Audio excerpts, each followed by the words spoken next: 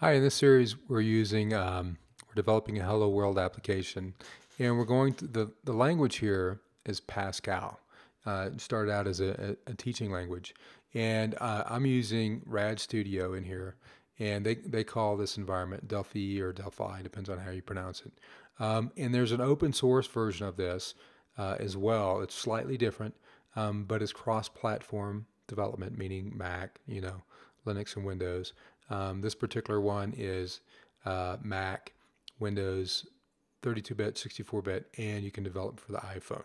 So slightly different, but the language is very, very similar, and uh, most of the commands are similar as well. So what we're going to do is go File, New, and FireMonkey. And FireMonkey is the cross-platform uh, GUI, so that uh, we can build these windows on on multiple different platforms. VCL is Windows only.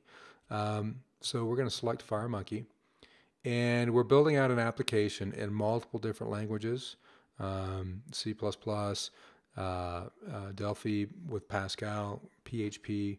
We're developing the same program on all these different platforms so that you can learn the different languages.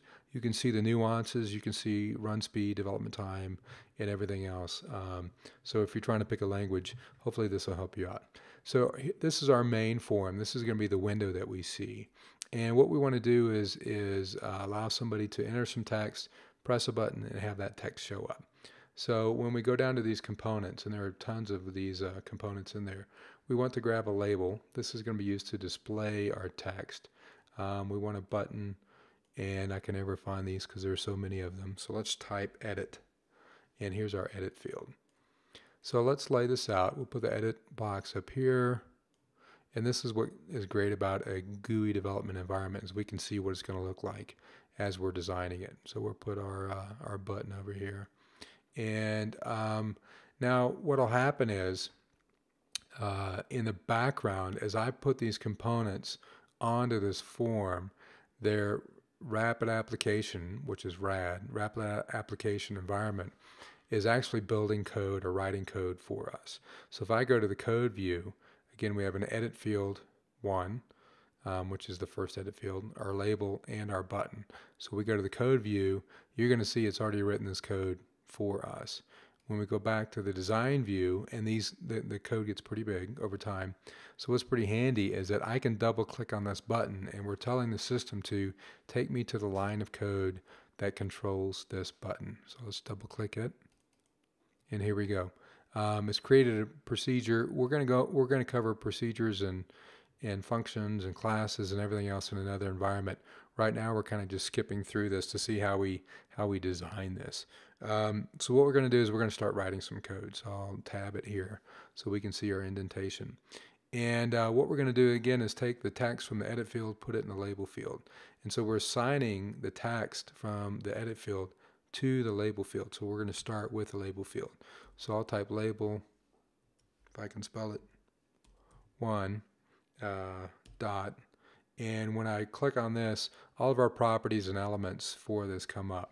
So we know it's the text field, so I could either scroll down until I see text here and then double click on it and equals, and since this is Pascal, this is an assignment operator. It's a colon and an equal.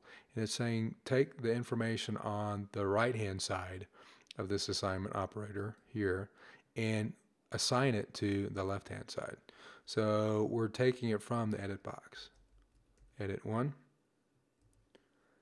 dot uh, text. Okay. And then we need to add, add a semicolon. So let's go ahead and run this.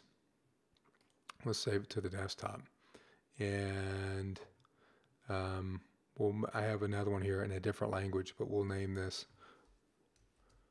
hello underscore, underscore world. Uh, we'll leave this as unit one, and we're going to name the project.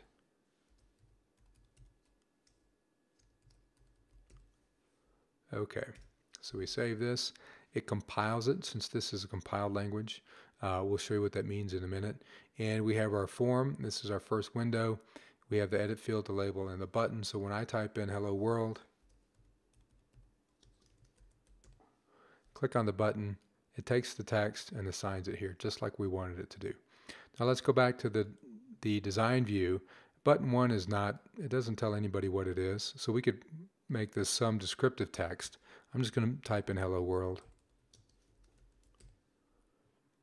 Our label field, it's a little bit distracting. So we're just going to take that text out, delete it, and it looks like it goes away, but it's still here. We can still still see our object. So we'll run it again, see the new program, and it's this iterative approach that uh, makes this pretty straightforward once we learn the, the language. And we're going to do that as we go along. So here's our new application. So again, since this is a compiled version, what that means is uh, the the um, environment takes our code and writes it into machine language that your computer or your operating system understands. Um, this was our underscore one. So when I double click on this, we can see we have our the unit that we saved. This is where our code was. We have the project. So in the GUI environments, the system is writing code for us, and it keeps all that code that it writes for us uh, in this project in these these different files uh, and, and, incorporates them into the project. So we're on Windows 32 now. Again, we could make this available for Mac or an iPhone or something like that. But when we double click on this, um, we're in debug mode right now, uh, meaning it's not production. It's not something we're going to sell or give away yet. But we see our application. So I can actually take this and it can run without the environment. That's the, the key here to compiled languages. If you're used to PHP or a Python, you know, they're all great, but they don't run standalone. You have to install that environment to get them to run. And that's one of the key differences here. Pros and cons to any language you're working with. So we'll type in hello world. This one is running from our desktop, and here we go. So again, we're building out the same language in multiple, we're building out the same program in multiple languages. If you're interested in that or want to see nuances of different languages or just want to learn a language, this is a great way to do it. And at the end of it, you have an application. So we'll see you in the next video.